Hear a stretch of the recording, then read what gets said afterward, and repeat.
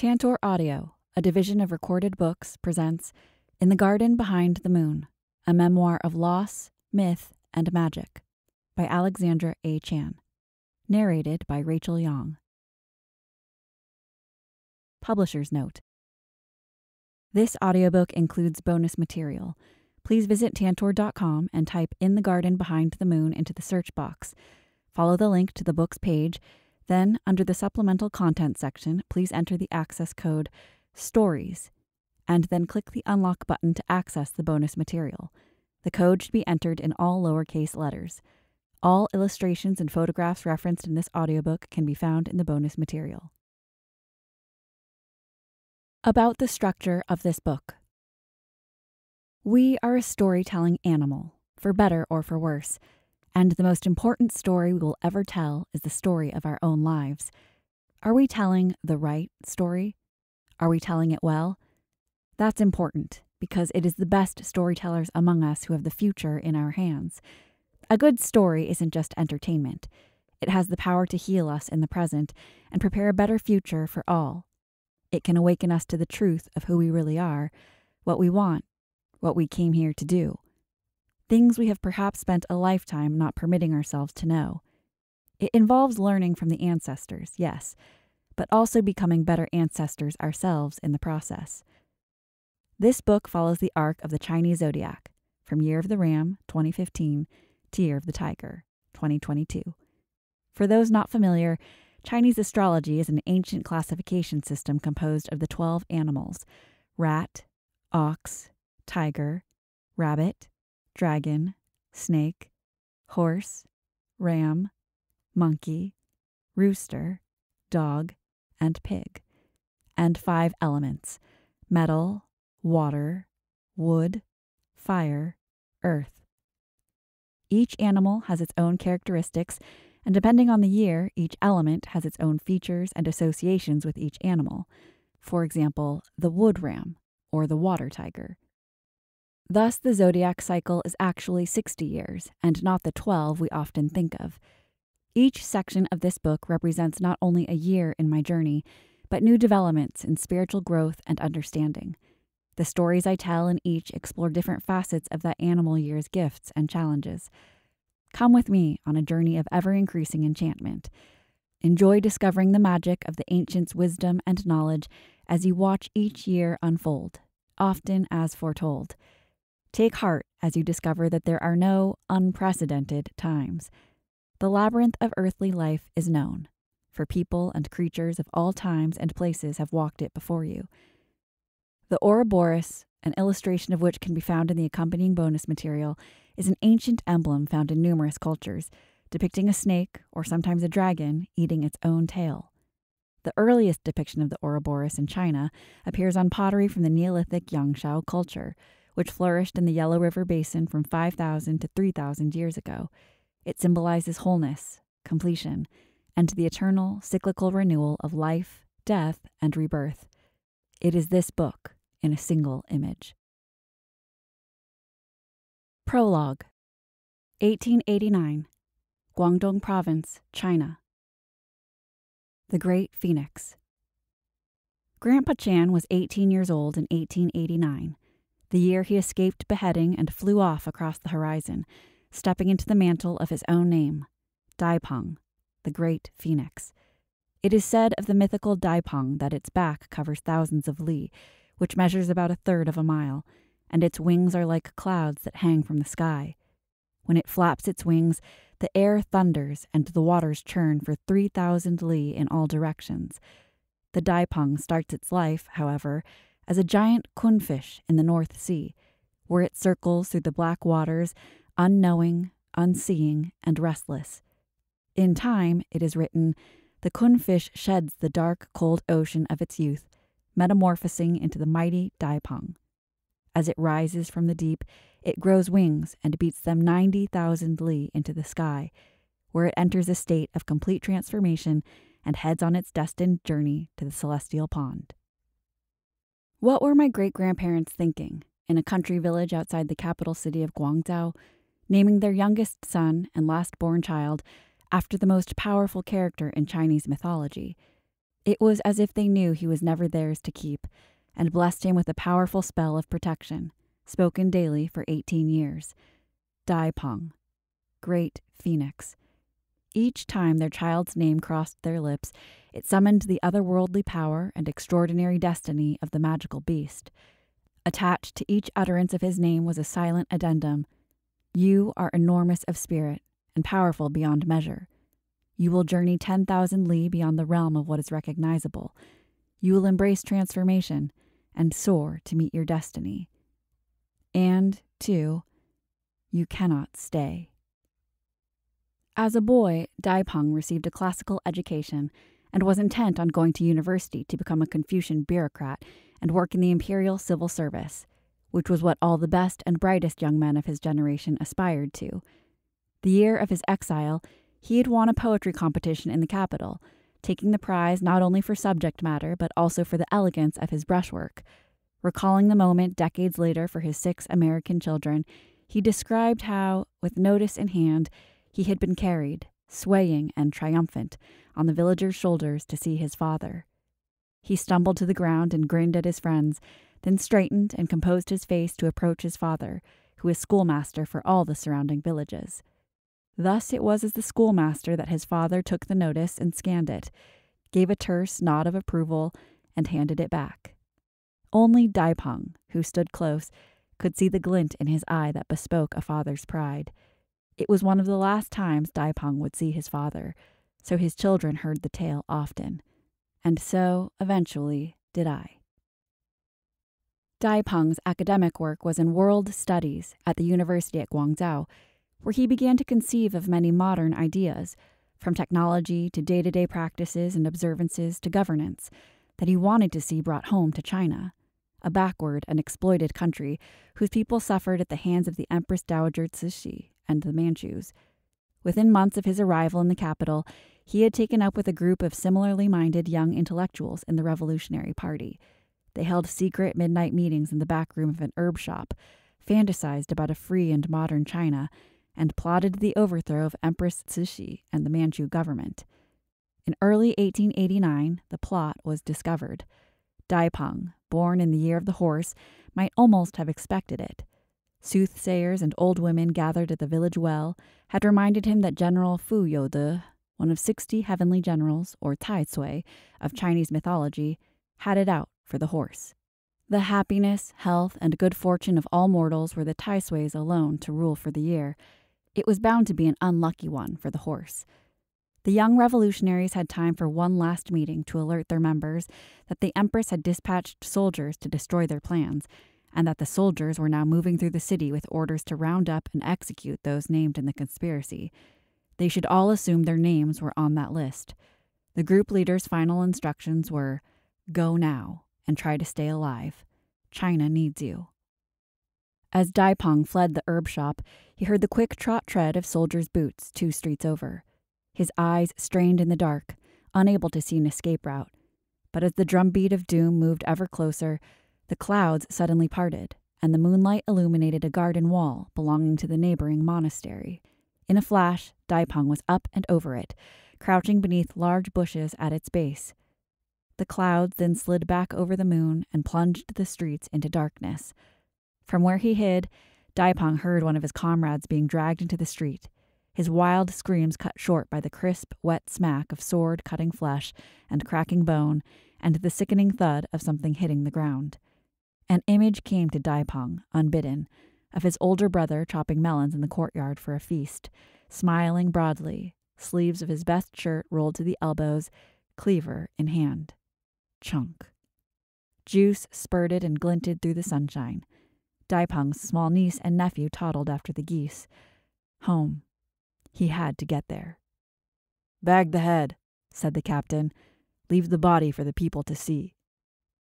A monk from the monastery discovered Dai Peng in the bushes and gave him cover for the night, disclosing that he too belonged to the revolution. The monk arranged for food, clothing, money, and secret passage on a ship departing for America the following morning. He also promised to get word to Dai Peng's parents. Home? No, he could never go home, the monk told the frightened young man.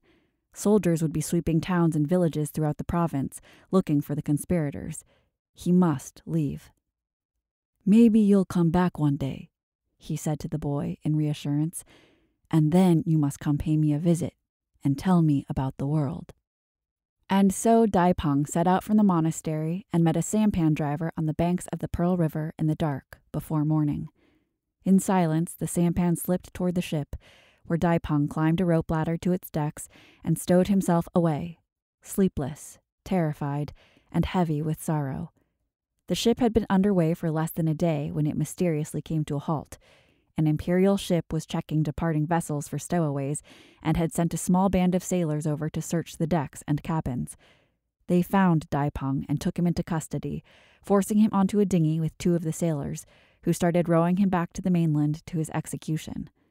Daipang, gripped by terror, thought of his mother and father, his sisters who doted on him, the terrible grief they would experience at news of his demise, and his terror settled into despair.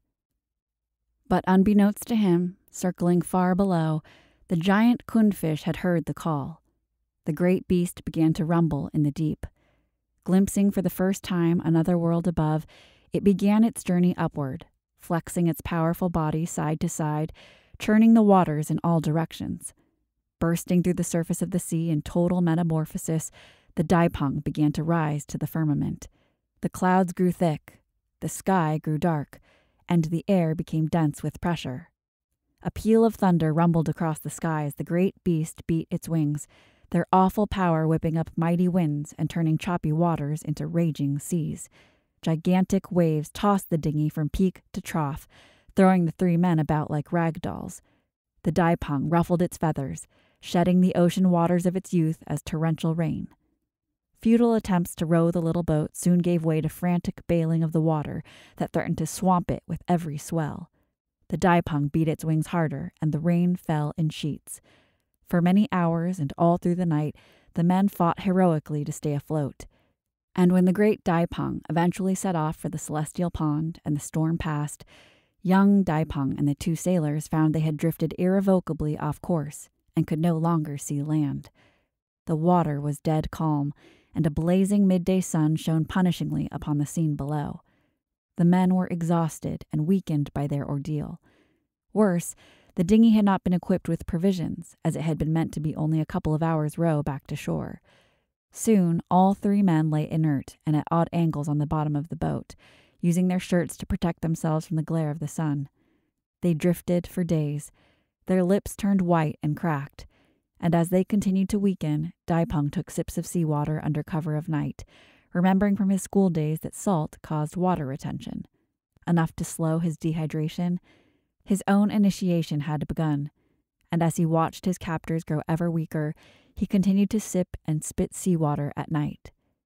The wheels of destiny ground into motion.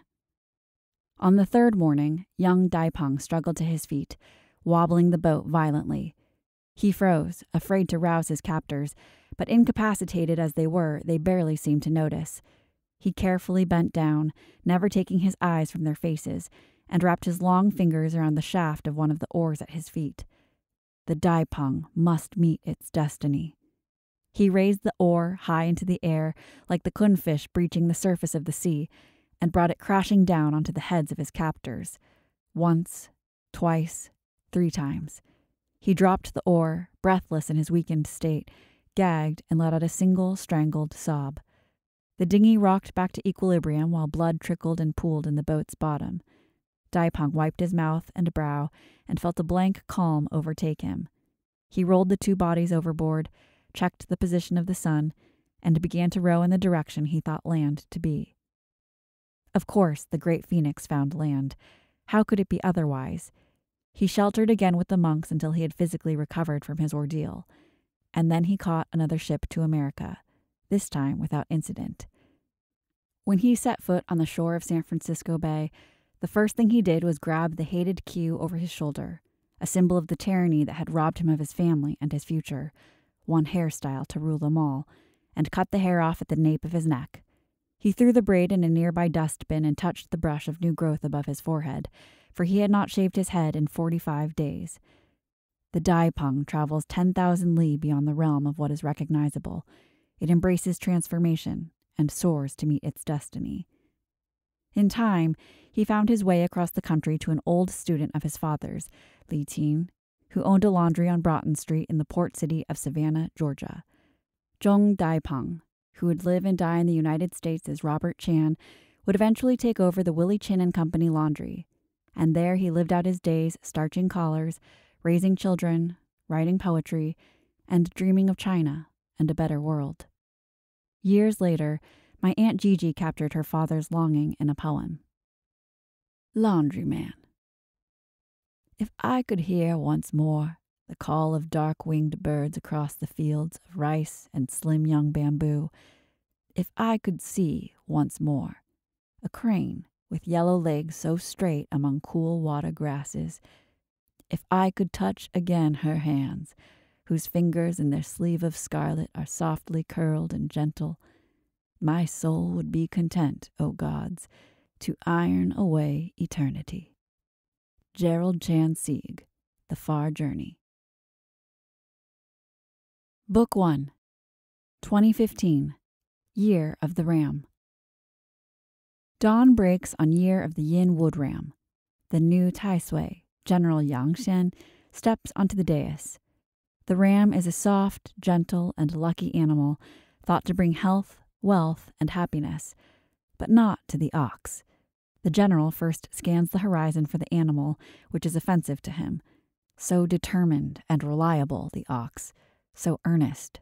But the ox is binary, stuck in its ways. The Tai Sui sucks his teeth and grins. This should be fun. Such a hard worker can always be found in the fields or cooling off in the river after a day's honest labor. The general cuts his gaze to the unsuspecting animal and drops into a wrestling stance. He cracks his knuckles and sways on his feet, eyes snapping. For sixty years he has planned it. At long last, the ox is his. What should he start with? Injury? Bankruptcy? Relationship breakdown, death, the ox will rue the day. So say the Chinese. Is it misfortune or destiny that I am an ox, same as Dad? I never meant to offend a celestial being, but unbeknownst to either of us, Dad and I are in a collision course with 2015's Tai Sui. The Chinese say the ox should expect once in a lifetime misfortune in 2015. The conjunction of the ox with General Yang Xian comes around only once every 60 years. A wise ox will lean into its inborn traits of honesty, diligence, strength, and determination. It must flex these preemptively and often, or it will wither under the unrelenting trials of the Tai Sui. Learn patience and hope. Look for personal areas in need of improvement. If the ox cannot effect these changes willingly, change will be forced upon it. I know nothing yet of the Tai Sui in 2015, but I shiver at the light whisper of a mustache as it brushes past my ear, and a voice purrs from the corners of my mind. Burn to ash, or forge yourself anew. The choice is yours. The ox will be brought to its knees in 2015, year of the yin wood ram. It is written. Chapter 1 Alien Lands no, I'd never been to this country before. No, I didn't know where the roads would lead me. No, I didn't intend to turn back. Mary Oliver. Three and a half years after Mom died, in 2015, I went outside to the deck, fell to my knees, and let out a blood curdling, primal, and completely silent scream. Don't leave me, Dad. I called it a soul scream for it took place wholly within my head, exploding mental shrapnel into the void, shattering my energy field to pieces. For a period of several seconds, it also had physical control over my body. I buckled under the weight of it, paralyzed, until it had passed.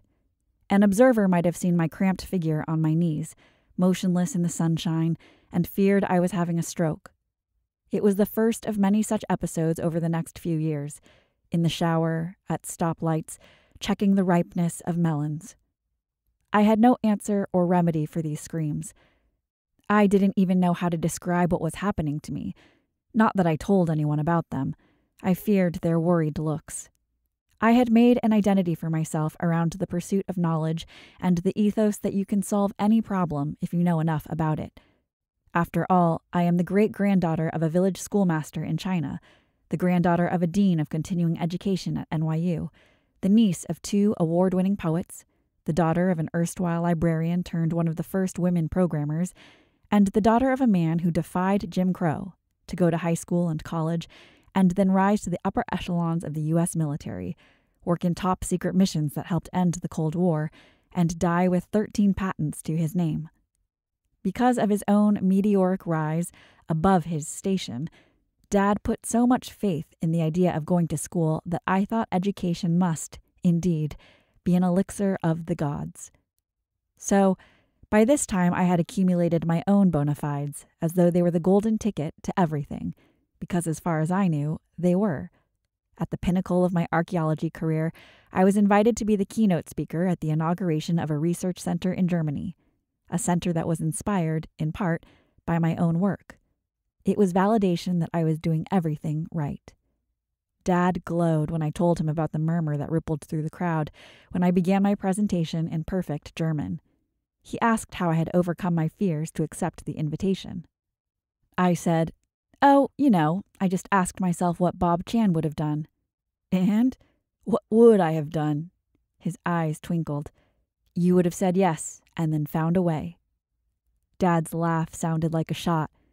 You're damn right I would. He warmed himself for a moment at the fires of over a century of saying yes and finding a way. My dad, Robert Earl Chan, turned 102 that year. Oh, yeah, he said you're my girl. At the time, I had two interesting jobs as a professional archaeologist and a photographer.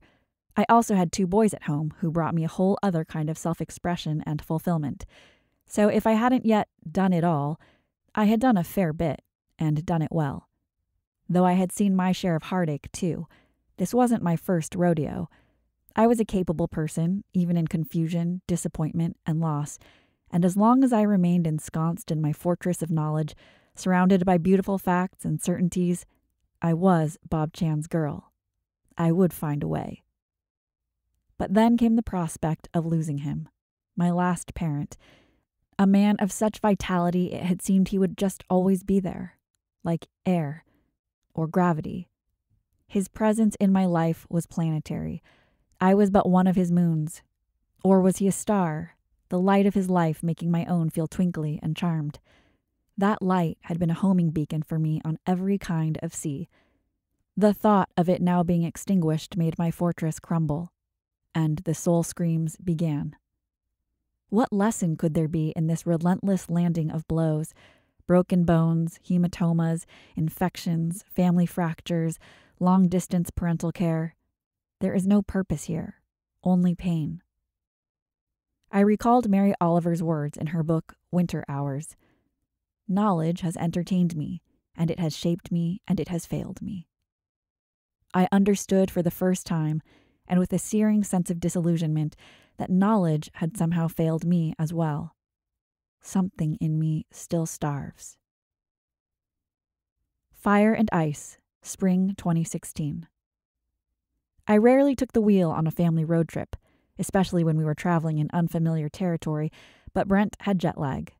And in the last few days, I had been heartened to see that Iceland had only one road to speak of.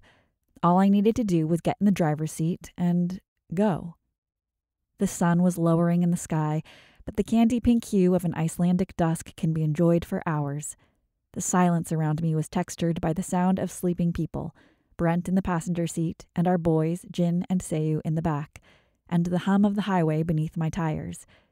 I zoned out until a stray thought of Dad caught me unawares and threw me into the jagged rhythm of the refrain that had haunted me for the last six weeks Hurt for life. I'm hurt for life. My throat closed over a soul rending sob just as I saw, in my headlights, a sign that said Vik i Myrdal and an arrow. For reasons I could not explain, I jerked the steering wheel left. Vik whatever that was, was not on our itinerary. We were supposed to be making up lost time, and while I am an adventurous person, I also like to know where I am going, driving at dusk in a foreign country.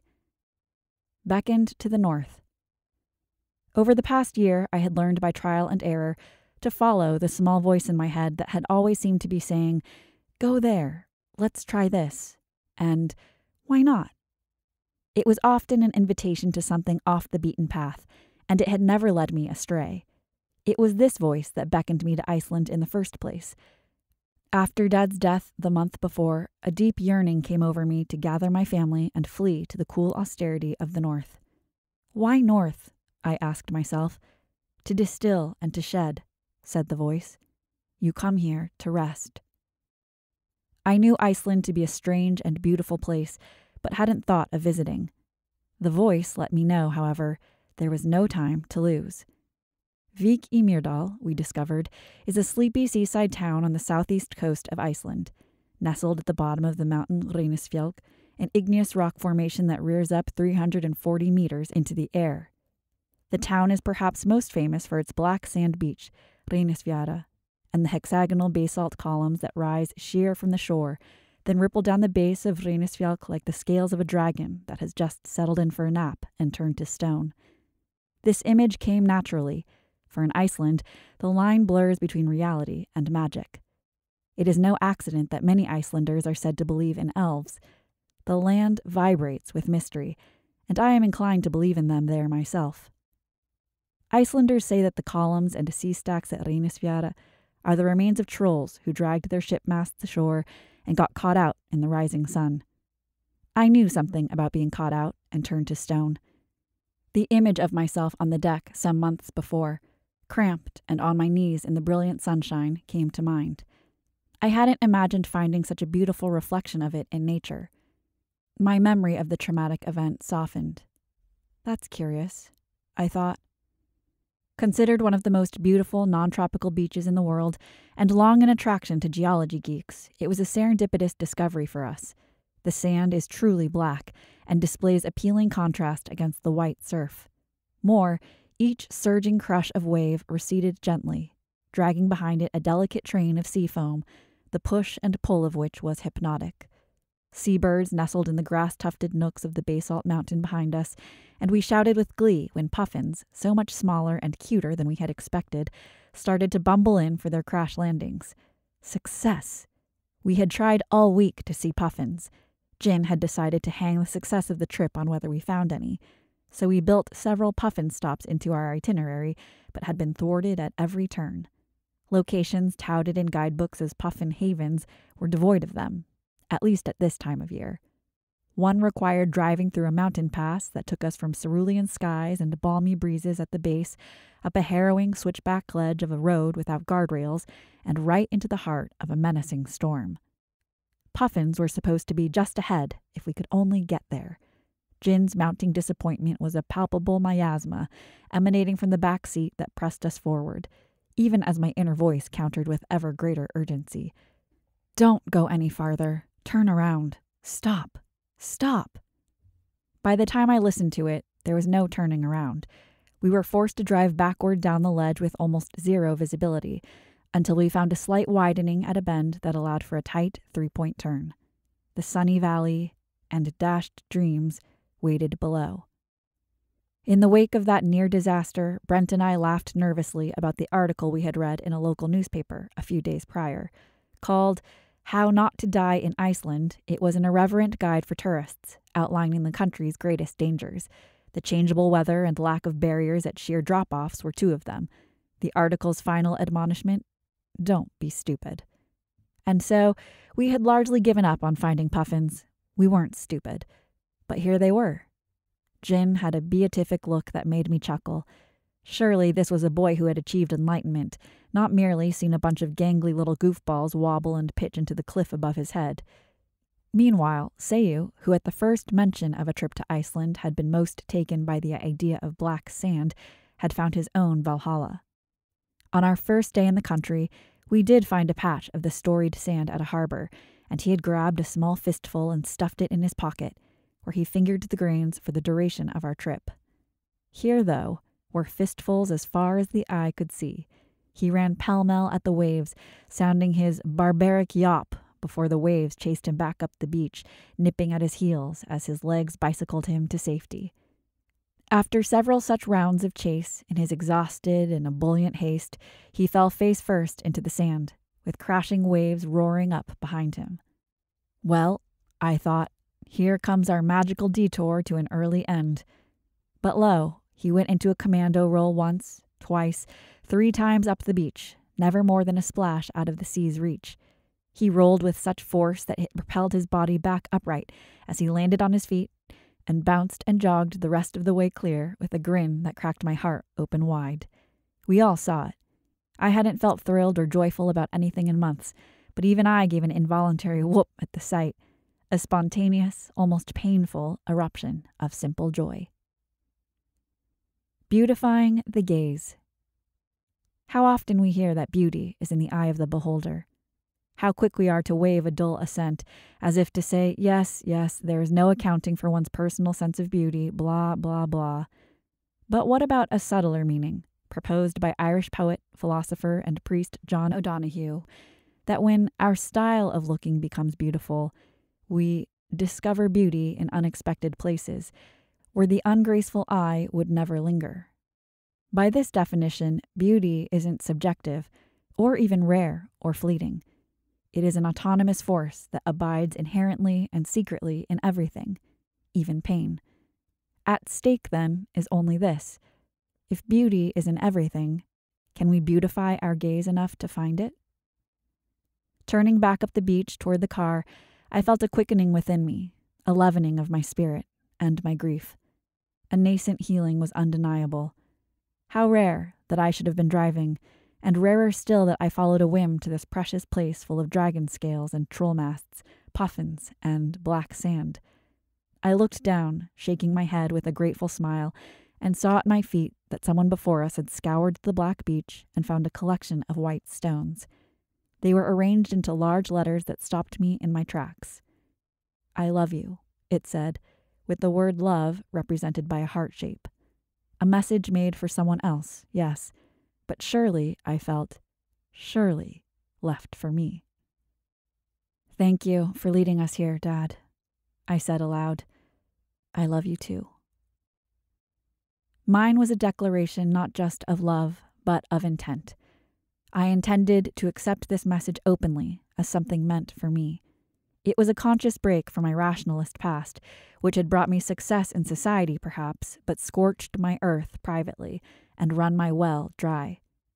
I pondered the possibility, necessity, of recognizing the natural world around me as perhaps the benevolent face of something altogether deeper, the visible shoreline of a mysterious, barely seen but bright other world.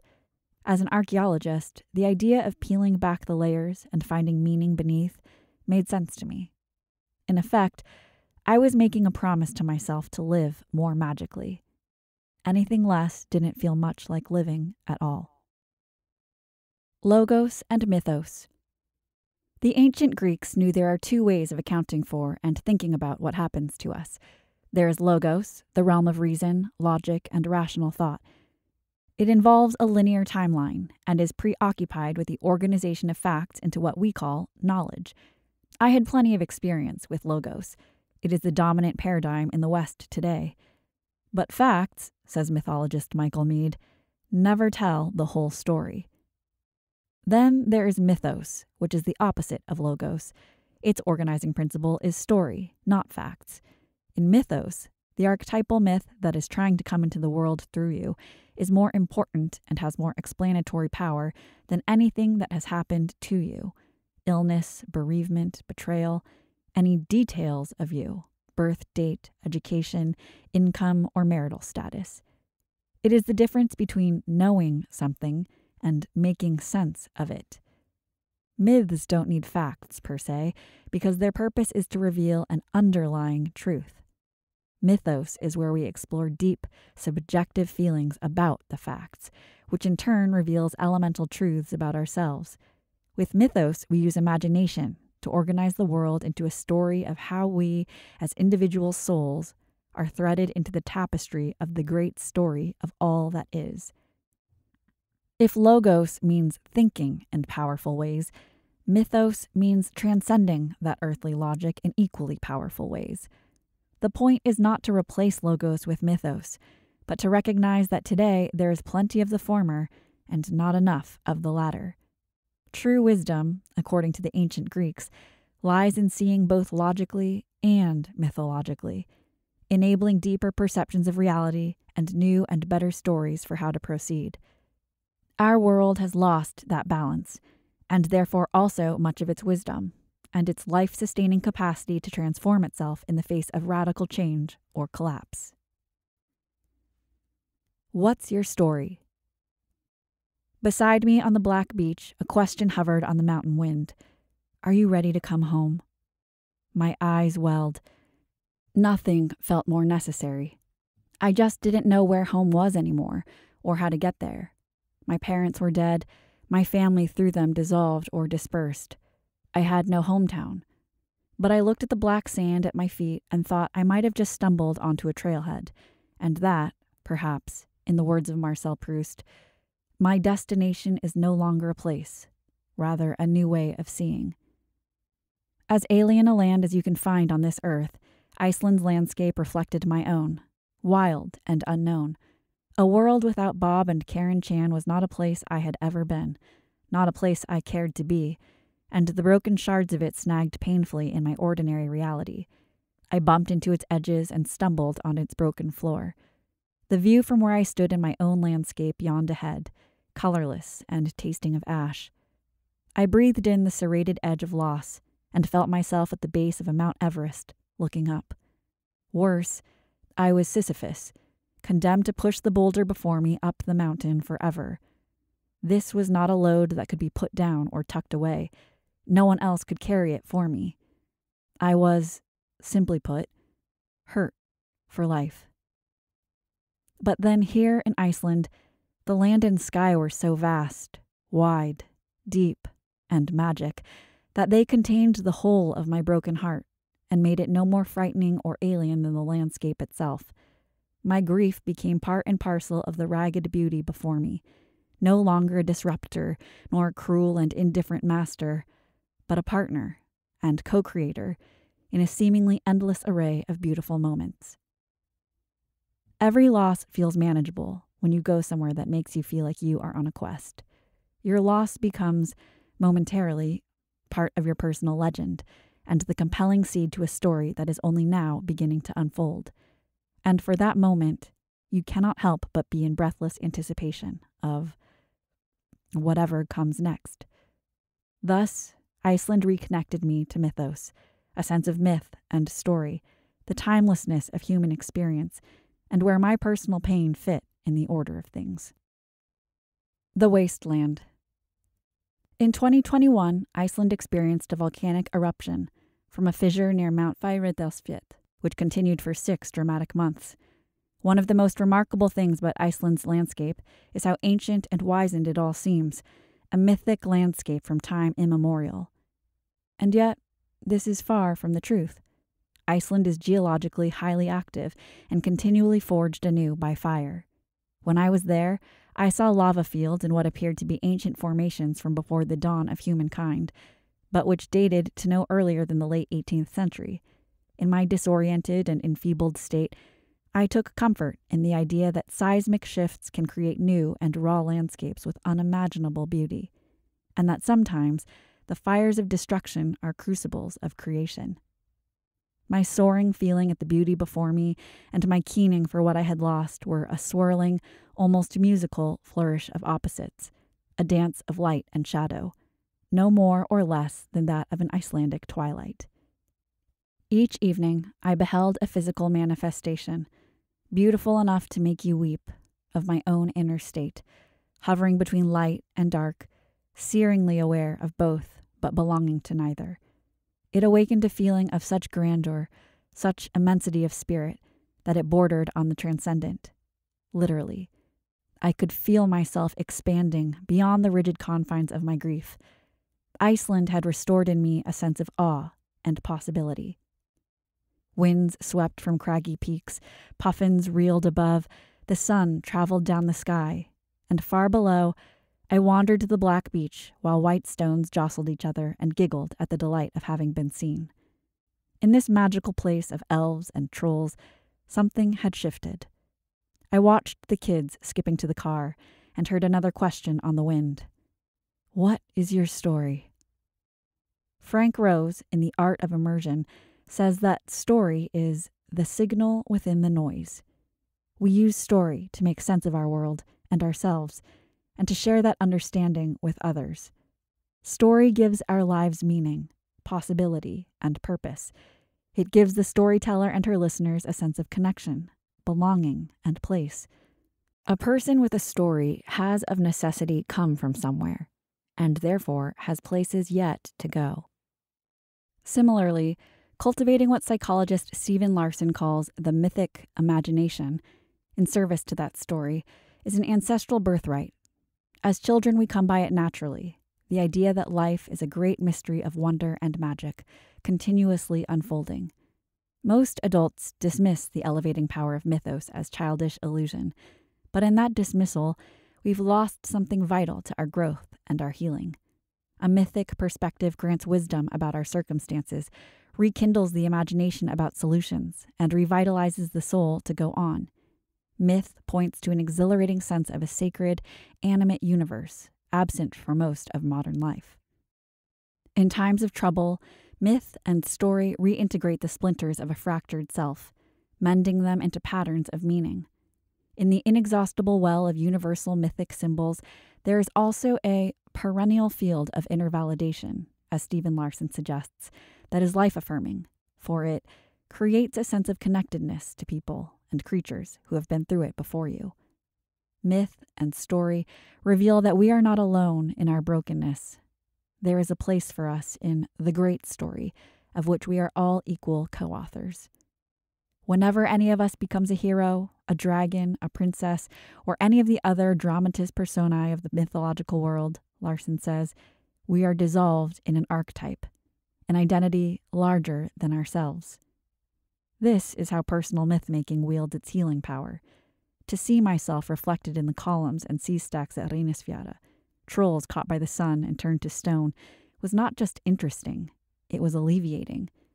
The trolls picked up some of the burden that I had thought I alone must carry, and for a moment they carried it with me. We were together. I understood them, and only they could really understand me. The mythic symbols I had just stumbled upon presented a still point, through which I was connected to creatures and people of all times and places, at a time when I didn't feel connected to much of anything. This is what mythologist Joseph Campbell meant when he said, We have not even to risk the adventure alone, for the heroes of all time have gone before us. The labyrinth is thoroughly known. We have only to follow the thread of the hero path. And where we had thought to find an abomination, we shall find a God. Where we had thought to slay another, we shall slay ourselves. Where we had thought to travel outward, we shall come to the center of our own existence. Where we had thought to be alone, we shall be with all the world. We are hardwired for pattern and meaning, and our life experiences lend themselves naturally to mythologizing in this way. We already weave personal myths day by day, consciously and unconsciously if we do it consciously, we become aware of the timelessness of human experience. We tread the same earth on which the ancient shamans danced and sang their spirit songs, says Larsen, and King Arthur's men rode in quest of the Holy Grail. Can it be that our journey through life is to be no less wonder filled than theirs? The answer, for the successful myth makers and storytellers among us, is yes. Of course it can. However, in The Enchanted Life, Sharon Blackie writes of people who, by contrast, have become unstoried or have fallen out of myth, succumbed to logos at the expense of mythos. These unfortunate souls have either become disconnected from story altogether or mired in false stories and unconscious myth making, which imprisons rather than liberates. They are ungrounded and suffer great restlessness, loneliness, and a sense of being cast out. There is no feeling of connection other than to their own pain. While an individual who has a healthy relationship to myth and story expands and connects, finding ever deeper layers of self and a sense of belonging that is sovereign and unassailable, the individual who becomes unstoried contracts and isolates, losing the sense of self and home. In this desiccated half life in which most people, at least in the West, find themselves sooner or later, attachment supersedes connection. Consumption gags creation, and we fall victim to addictions of all sorts, from social media to substances, to fill a hollowness that grows. Yet this wasteland is not only a hollow place, but a rootless one. For where there is no connection, there can be no rootedness. With no rootedness, there is no belonging. Without roots to nourish and hold us in place, the ground also grows infertile and erodes beneath our feet, making it even more inhospitable. The wasteland is made for soul screams. It is also a place largely devoid of body and nature, a prison of the mind, for better or for worse. For better, because if we create our own suffering, we can also end it. For worse, because most of us suffer unnecessarily by telling ourselves untrue stories or forgetting to tell any at all. When we, a storytelling animal, become unstoried, we grow harrowingly distant from our own animal nature. Some of us even forget that we have bodies, shut away from the earth, from the seasons and cycle of things, replacing sunrises and sunsets or the nourishing warmth of campfire and candle flame with the cold light of a screen, spending our lives in houses, office buildings, and high rises, traveling in cars and buses and on shoe shod feet. How many of us have any actual contact with Earth, or meaningful access to the consolations of nature or of growing things? How many of us live almost exclusively within the confines of our own heads and the blue light of our phones? Sharon Blackie believes that having a sense of home is not a state of being, but a skill that can be learned. The heart flutters to think of it. One can learn to belong anywhere, she says. It starts with remembering your animal nature and continues by getting to know the land, whatever land you inhabit and walk upon. Get out of your head and into your body. Go visit the land like the animal you are. Iceland will do it, but so too will your own backyard garden, a city park, a favorite tree, the mountains, or the sea. Visit it at all times of day, all seasons of the year. Learn to identify the plant and animal wildlife you find there. Learn the mythic tales that belong to not only your own ancestors, but also the region you inhabit. Sense the subtle, stolid presence of earth, tree, and stone. Observe the cycles of change. Find a spot or travel a route, make it yours, and feel the way you begin to belong to it as well. Thus, you start the process of rooting and begin your journey home. Home to Mother Earth, home to self. When the body is engaged as it is in nature, the mind's chatter and torments quiet. This is enjoyable on its own, but it is also in this mental quiet that story can start to insinuate itself again. For story often arrives on soft feet and suggests itself through the physical senses. Easily missed, it can start with a breeze here, a scent there, a longed for bird landing on a cliff above your head. Perhaps it comes in an arrangement of stones at your feet that a busier mind would fail to notice. I believe that once we are in the wasteland, we are imprisoned there, until and unless we can find a way, through myth and good, healthy story, to reanimate our weary, wounded hearts and make our way back to the world. Logos can tell us where we are, but only mythos can tell us why, what it's all for, and how to get back home. Successfully tending one's story in this way is serious business, for what's at stake is nothing less than life itself. The ability to let go of what must be let go of, to have a meaningful existence, and to die content without seeping wounds or bruising regrets. Blow story on a frozen heart and watch that heart begin to thaw. Story connects us to what is innocent and alive within us, stirs curiosity and courage, and instills the will to live and live well. Story is good rain and bountiful harvest. It inherently beautifies the gaze and lessens the load. You know the way. About six months before Dad died, he didn't know who I was. We'd had a date to meet on FaceTime using an iPad station we'd set up in his bedroom, it had a Bose speaker surround sound system that made our voices boom from the top of the stairs and all through the house. As a World War II veteran, scuba diver, and spear fisherman who had broken his eardrums, Dad had significant hearing loss. At age 102, he was practically deaf. His caregiver sent me a text shortly before our scheduled time. Can you call in? Bob is very agitated, doesn't want to come upstairs, says he doesn't have a daughter. Maybe if he hears your voice, I can get him on the stair lift. My stomach dropped, but the plan worked. I coaxed him to me, and by the time he was seated at his iPad some minutes later and saw my stricken face, the episode was past. Tears came to his eyes, but didn't fall, and I could see that he not only remembered me, but also remembered not having remembered me a few minutes before. A shadow swept across his face.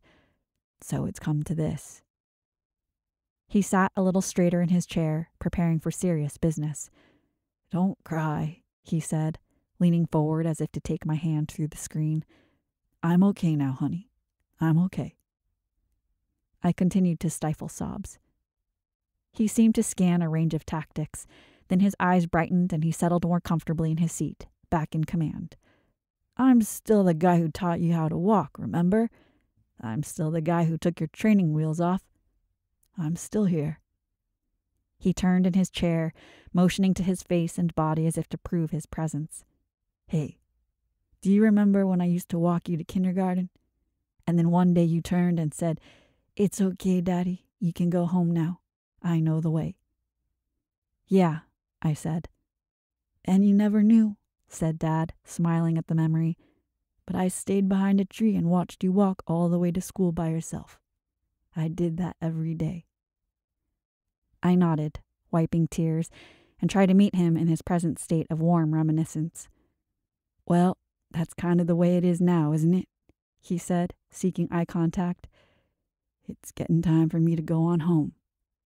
But I'll be watching you for as long as I can on this earth, and when I can't do that anymore, I'll be watching from, oh, from wherever it is I am. And you'll be okay. Hmm? You'll be okay because you know the way. Finding the Way I had fallen out of myth in the years surrounding my parents' deaths and the breakdown of my family of origin. By the time I landed on Iceland's shores, I had become unstoried. I felt cast out, abandoned, without home or family, and hurt for life. My personal tragedy was compounded at the world level by cascading political, social, economic, and ecological crises, which gathered darkly at the horizon.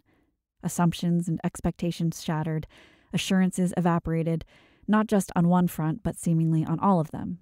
Here at home, the rise of Trumpism, white nationalism, and domestic terror left many people of color, me included, feeling cast out, abandoned, without home or family, and hurt for life by their own country. The rolling, traumatic betrayals under Trump of federal and local governments, agencies, and officials, community members, business leaders, colleagues, friends, and family would have left me flailing even without the loss of my parents. Coinciding as they did, my fear and grief became immobilizing and catastrophic. In 2016, I entered a personal dark night of the soul. And although I maintained a functional facade, privately I was in total breakdown and felt close to madness. Then came historic wildfires, hurricanes, and flooding, mass shootings, and a crescendo of violence and murder against unarmed black people. In 2020, COVID 19 began its rampage, economies collapsed, and there were epidemics of fear, racism, anger, and conspiracy theories for which there could be no vaccine. Then the storm of autocracy, nihilism, and fear stoked by the president himself, 147 members of Congress, and the spouse of a Supreme Court justice made landfall on January 6, 2021, when an armed mob tried to overthrow a secure constitutional election and thereby rob America of her greatest inheritance of all democracy itself. The slow rolling coup attempt continues even as I write this, with a fascist, authoritarian assault on voting rights and processes, women's rights, and the rights of the LGBTQ community. Add to that a rogue Supreme Court hostile to women, minorities, and the environment, and it leaves the future uncertain and, for many of us, deeply terrifying. Where and how to find refuge? We are facing problems that are mythic in scope, and yet we live in a society that has turned away from mythos. This is a sure way to land ourselves and our country in the wasteland. When a cultural paradigm is dying, there comes a quiet point. after the collapse, but before a new paradigm has taken shape, where it is left to individuals to find and pick up the threads of renewal. People stuck in Logos, or the wasteland, will see only apocalypse or a dead end and may freeze or give up in response. Or worse, cling to reactionary ideas to return to the past and a perceived safety that never really was. People who have restored or retained a balance with mythos will see, instead of a death rattle, a birth pang, instead of an ending, a threshold of change. You must be able to see the threshold if you are going to step over it. You must be able to imagine a different world, even when it hurts, if you are going to build it. Iceland jump started something new for me. In the rubble of my life back in 2016, I picked up a strand of renewal and had already begun a process of following it. I stumbled into a practice of personal myth making and story tending that would change my way of being in the world vastly for the better. I did this in a variety of ways. I began a personal practice of shamanic journeying, which involves traveling beyond ordinary reality and awareness, often with the help of a drumbeat, to go deep within oneself for the purposes of consultation and healing. It's a more active form of meditation. I found an imaginal world there, full of wisdom, humor, and compassion. I plumbed the rollicking, soulful, and inspired stories of my family and my ancestors. I read classic literature, from Homer to Cervantes to Tolkien, and tended to my wounds with their timelessness and relevance for anyone muddling through their own humanity. I began to write with abandon stories from my family and memories of my own experiences, as seen through my now dynamically evolving worldview. I picked up a new hobby in Chinese brush painting and stories began to pour forth that way as well. Denizens, both animal and human, of my growing mythic imagination, found expression through my brush, each coming with unique pearls of wisdom for living more beautifully in the world. I had yet to fully understand the powers of integration and healing that myth and story contain, but I did have a sense that I was doing something right. And what I learned, ever so slowly, was that, just as Dad had suspected, I did know the way. And yes, there is still beauty and magic left in the world, and love and wonder left in me. I learned that in telling my own stories, the right ones, in the right way, I freed myself from imprisoning narratives that had brought me to a precipice. From a mythic perspective, I was not without a home. I was a Selkie who had lost her skin, trapped in a world she did not know how to belong to. I was not hurt for life. I was the little match girl, learning to warm herself in the cold by striking matches from memory and imagination. I was not without family. I was Telemachus in search of his father Odysseus's path, ultimately being asked to step out from the shadow of his hero father to embrace the mantle of his own worthiness. I was also Circe, a woman isolated on an island, not abandoned but spared, discovering her own sorcery, becoming feral and powerful there, and ultimately choosing a mortal life with its heartbreaks and limitations because she has learned that weeds are flowers too and make excellent pot herbs and tonics.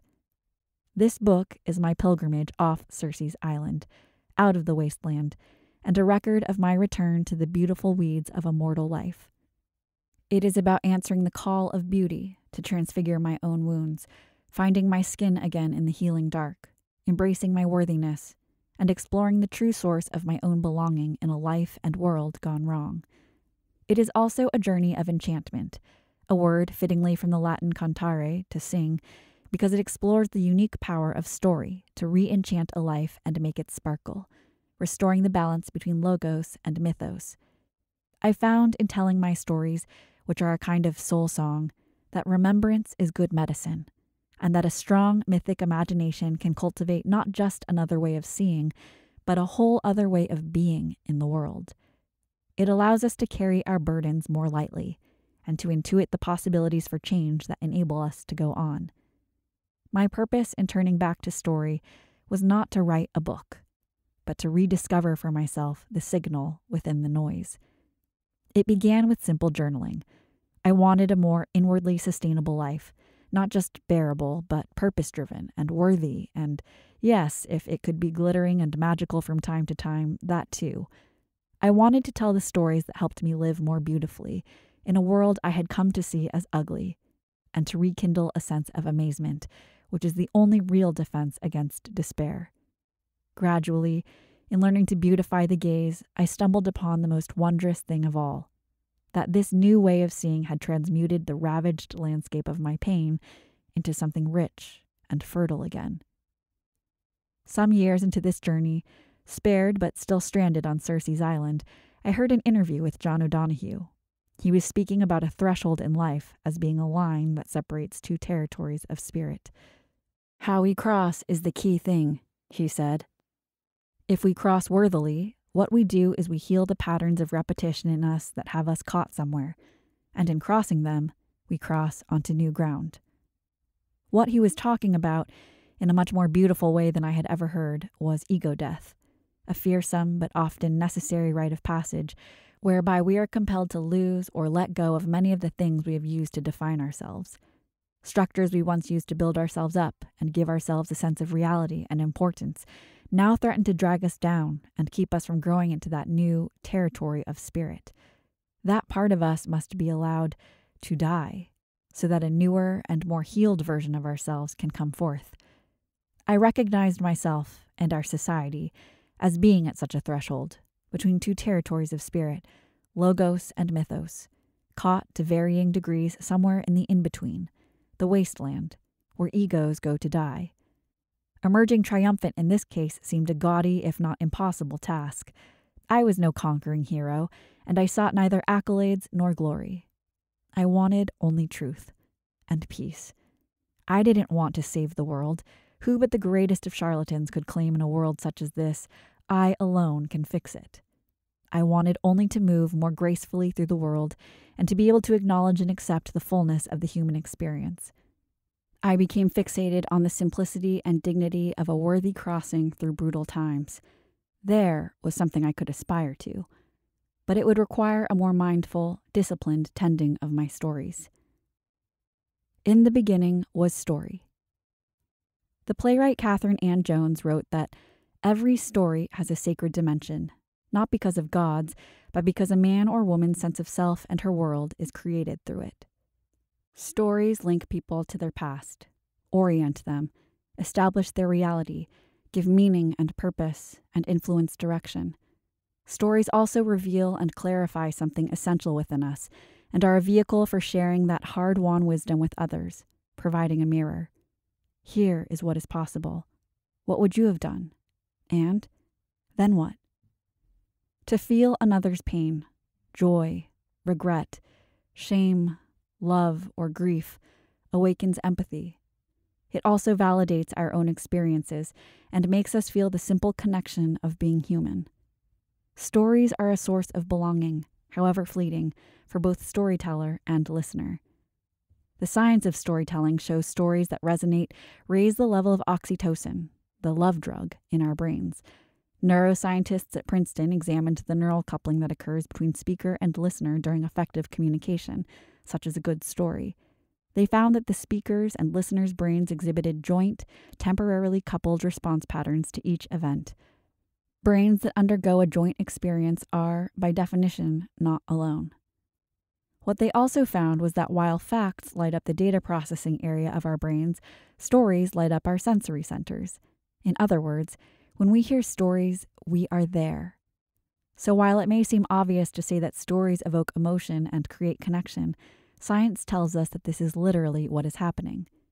Stories have been shared in every known culture, back to the cave at Lascaux and beyond. It is the essential human trait, along with universal facial expressions and contagious yawns. I used to tell my archaeology students that with the first evidence of the controlled use of fire some one million years ago, we might really be seeing the first evidence of story. Fire extended natural daylight into night for the first time, freeing our ancestors from the tyranny of sunset. It warmed them, expanding their geographical range. It protected them from predators because most animals, including the big ones, knew enough to fear fire. But one couldn't stray far from the fire after dark. What did one do with other members of one's troop huddled around the burning wood? I imagine they communicated about the day, the things they had done and seen, the animals they had observed, the water and tubers they had found, the narrow escape they had made, the successful hunt they'd had, and what had made it so. Story is one way to weave facts together and communicate them to others, But it also happens to be the most effective way to do this, because the evocation of emotion makes facts more likely to be retained. You are much more likely to remember how to get out of a scrape with a cave bear if you knew the story of how Uncle Droog got his bear claw necklace. Past, present, and future.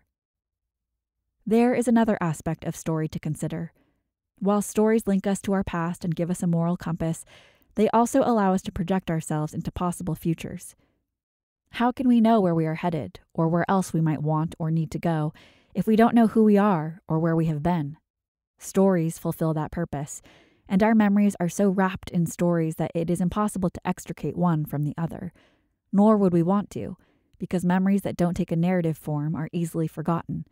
Indeed, studies have shown that amnesiacs don't just forget the past, but also lose the ability to imagine the future, a topic explored to great effect in a documentary called Tell Me Who I Am.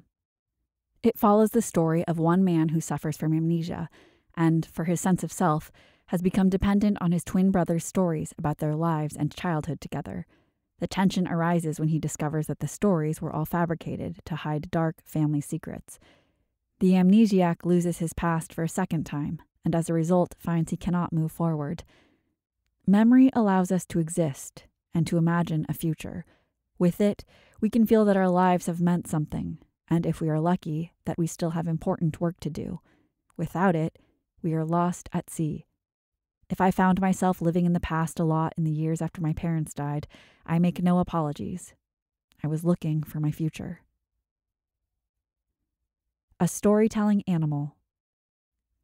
Biology research in recent decades has demonstrated that consciousness is found in many of the non human species with whom we share the earth elephants, whales, crows, the great apes, dolphins, octopuses, and more. So I cannot say that we are the only animal to have a storied experience of the world.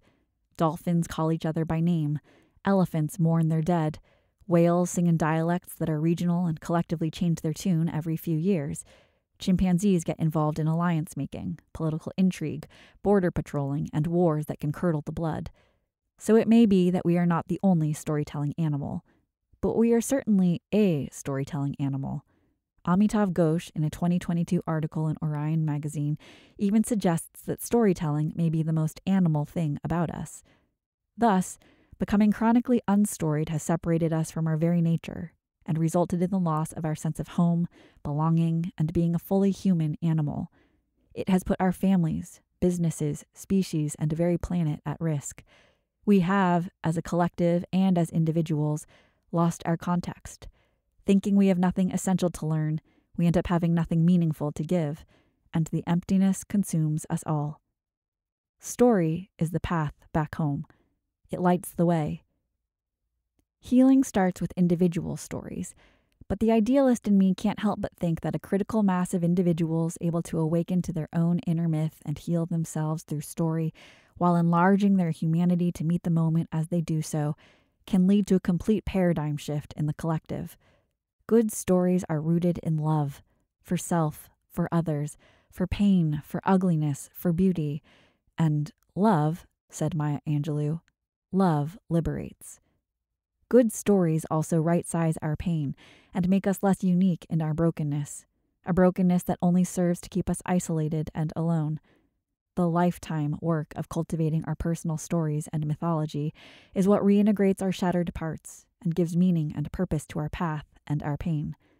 What if we are sometimes asked to give up everything we hold dear, everything we thought we knew, so that we may experience the deep connection we all have to the great story and to each other? In this way, we become like the centaur Chiron, half beast and half divine, who is known as the wounded healer. Having discovered that within the poison is the cure, we become able, and often called, to teach others the same. We all contain within us the essence of the centaur. Who among us isn't at least half beast, half divine? Who has no wound that has planted the seed of a healer? Where can you identify part of yourself or your story with Chiron? Once you get the hang of it, there will be other myths, other ways of beholding the circumstances of your life. It is never too late, and indeed never too soon, to get started tending your personal stories. Whenever we are faced with mythological levels of collapse and renewal, personally or societally, it becomes urgent for each of us to find a certain mythological element within ourselves with which to respond and carry on. Logic alone can't fix such collapse because so much of it has no logic. For example, we might look to awaken the wise inner sage within our hearts, or to unleash our inner genius, not in the meaning of extraordinary intelligence, but in the old sense of the inner purpose hidden within each life, the unique calling of every individual. In 2017, I started a series of paintings I called The Little Monks. I recognize them now as early inhabitants of my awakening mythic imagination and my own wise inner sage made manifest. They did not come all at once, but at critical junctures over the course of years. For example, the first was Poet on a Horse, which you can find in the accompanying bonus material, who arrived in 2017 in a wild isolation that mirrored my own, and whose advice, one time, one meeting, gave me courage to just be with my aloneness, recognizing that all of life's moments are fleeting and irretrievable, and all have their gifts to bestow. I mustn't miss the gift for fear of the meeting. I could look at Poet on a Horse and always find some way to endure the austerity of meeting myself in the wasteland. Next came Monk with a brush, who said, Self knowledge brings happiness. I looked at him and saw the ease and contentment that such wisdom can bring once the lessons have been integrated. He also reminded me of Dad and all my aunts and uncles, who had worn their old age with simplicity and a well burnished joy. I didn't think any of them was in the wasteland by the time I knew them. They had made it out. Monk with a brush, which can also be found in the accompanying bonus material, restored a sense of purpose to my painful lessons, future comfort in my own skin, and a peaceful old age, as my elders had had. Then along came the journey of 1,000 li, alluding to the Chinese proverb that the journey of a thousand li begins with a single step. This character made his way through a snowstorm and brought the wisdom that every day is a beautiful day. I looked at him and knew that I too could go the distance, one step at a time, and that I too was learning to beautify the gaze. And so it went new monks, poets, musicians, and scholars arriving as was necessary or helpful. In 2019, I was delighted by a baby monk who seemed to make meaningful eye contact with me as he emerged on the page beneath my brush. Learn, heal, teach, he said, as if to tell me that many of my lessons had been integrated and it was time to share them with others coming behind me. That is how I have tried to live my life ever since to learn from the ancestors and become a better ancestor myself as a result. It is the reason for writing this memoir. I dedicate this book to the storyteller inside each of us. May they awaken, and soon. May all our geniuses learn, heal, and teach another. And to everyone standing at a threshold between two territories of spirit, may you remember that the stories you tell become the life that you live. I intend to live more magically. And you? Chapter 2 Small Wonders Dear family, what a lovely word, and how blessed are they who have one. Gigi, letter to Robert Earl Chan, November 19th, 1995. Magic happens. Magic happens. Magic happens. The phrase reverberated and repeated, punchy and insistent, staccato and relentless, like rain on a tin roof, as if to carry it through the powerful amnesia that can obliterate even the bare moments between waking and opening one's eyes. I reached clumsily to my nightstand and created a clatter of ceramic, plastic, and shuffling paper, sending my eyeglasses to the floor before remembering that what I was looking for was already on the floor. I grabbed my writer's journal and pen and fumbled to push the light switch and find the next clean sheet of paper. I wrote at the top, Magic happens, and then began to scribble full sentences, partial phrases, single words which I hoped would be enough to jog my memory later. The truth is, if I had never once believed in magic, this memoir would never have been started. It took the Tai Sui's trials for me to remember to look for it again. And although I had not heard of the Tai Sui at this point, my ancestors had. I like to think it was they who had started sending me insistent and disruptive dreams to shake me awake and to meet the Tai Sui's challenge to do better or die. Call off the dogs, General, I imagined them calling out to him. We're working on her. Old Chan Magic. To be a Chan is to be raised between worlds, somewhere between Chinese ghost stories and ballpark franks. It is to invite in old world mystery and wonder, even as you masterfully navigate the realms of science, logic, and ordinary reality. Among us Chans, you will find scientists, philosophers, teachers, warriors, musicians, computer geeks, artists, chefs, showmen, designers, and poets.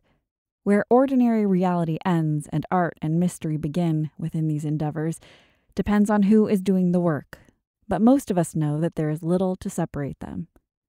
True, I had become disillusioned, but I was not a born cynic. I spent years before my exile in the wasteland hoping the world was as magical as the Chans made it out to be.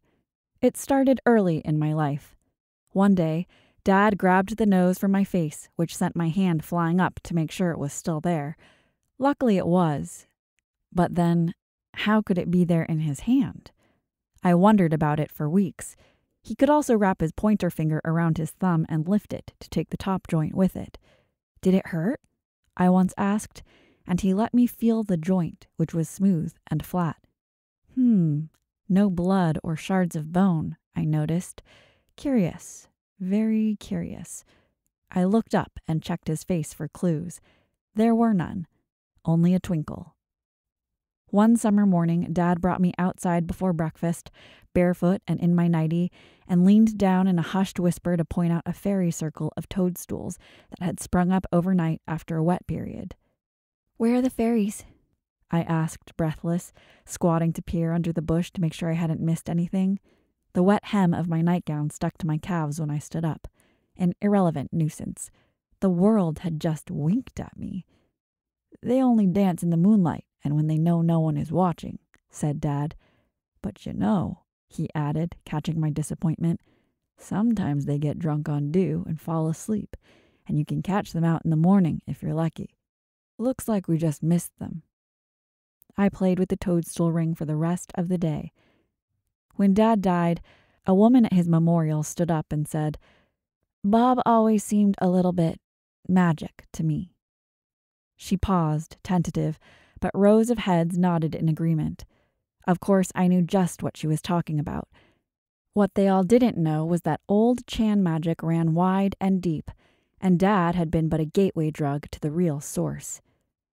Dad had moved to New York State after World War II and so every summer, he, mom, and I hopped in the car and made the two to three day drive down to Savannah to visit with the Chan family. The source, all the uncles and aunts and cousins. Grandma and Grandpa were long gone, but there was still a large family down there in the 1970s and 1980s. Savannah, to me, was steeped in magic that had only little to do with the twisted limbs of the live oaks and the hanging strands of Spanish moss. At night, Steamy cobblestone streets released a fog that swirled around antique lampposts in the squares and turned them into soft, glowing orbs. It felt to me as if a glamour had been cast on this place. Things were not always what they seemed, for better or for worse. But that wasn't just a bit of moss and fog talking. That was old Chan magic, which seeped into every crevice. Do you hear them talking? asked Uncle Sandor. We hope you enjoyed this preview. To continue listening to this audiobook on Google Play Books, use the link in the video description.